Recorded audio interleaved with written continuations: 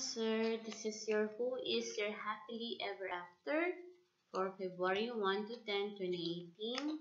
Guys, if you, if you have not yet subscribed to my channel, do subscribe on my channel. You can send in your donations. The details are in the description box below.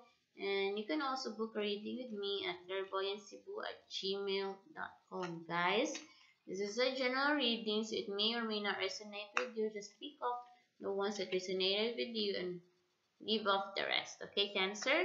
This is your Who is your happily ever after episode.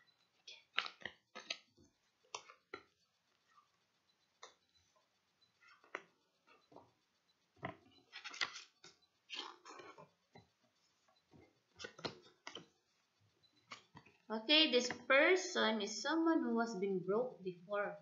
This person is very broke, and broke before financially, okay? Or this person has has been left out in the cold and then now he is not or she is not. This person has has been broke before and now this person is recovering from being bankrupt or being broke. Okay? This person has been having a lot of thinking lately perhaps uh, stressed or this person has been thinking of you lately yeah thinking of your plans dreams and whatnot okay? And this person, again yeah.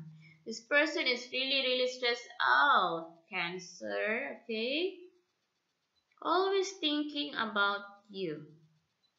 Always thinking about the future with you always having a good life with you because this person is feeling that he or she cannot provide the kind of life you want to have because this person is very is is going through a challenging life for since last two months two to three months okay?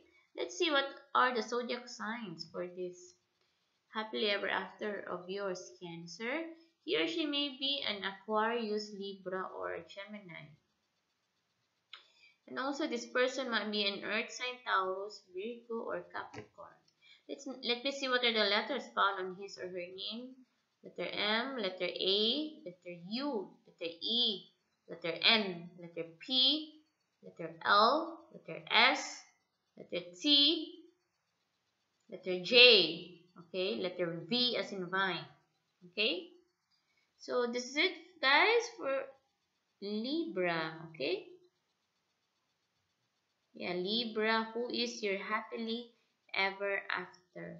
If you have not yet subscribed to my channel, do click on the subscription box below and you can send in your donations. It's in the description box below and you can always book a reading with me at clairvoyancecebu at gmail.com. So Cancer, I'm going to send you all the love, all the happiness, and all the happily ever after to you. So have a nice day, Cancer, and see you on the next 10 days of February for your Who is Your Happily Ever After